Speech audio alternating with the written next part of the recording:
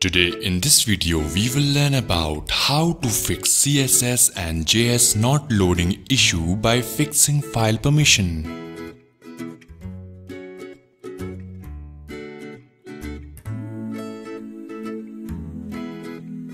CSS and JS does not load when there is a file permission issue and it gives forbidden error. Now go to any website and to check where the CSS issue is happening, press Ctrl F and then search for CSS files. Now you can repeat the same procedure for JS file as well. For directory file permission, the folder should be of 0755. Whereas for the files, the correct file permission is 0644.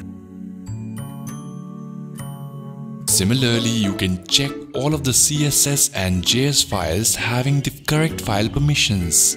Just make sure that public underscore HTML has file permission of 0751.